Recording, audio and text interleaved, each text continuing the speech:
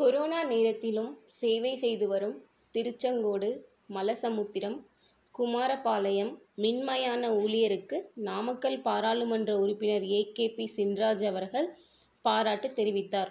தற்போது கொரோனா இரண்டாம் அலையின் பாதிப்பில் இறப்பு விகிதம் அதிகமாக இருப்பதால் தினம்தோறும் பத்துக்கு மேற்பட்ட உடல்களை தகனம் செய்து வருகின்றன.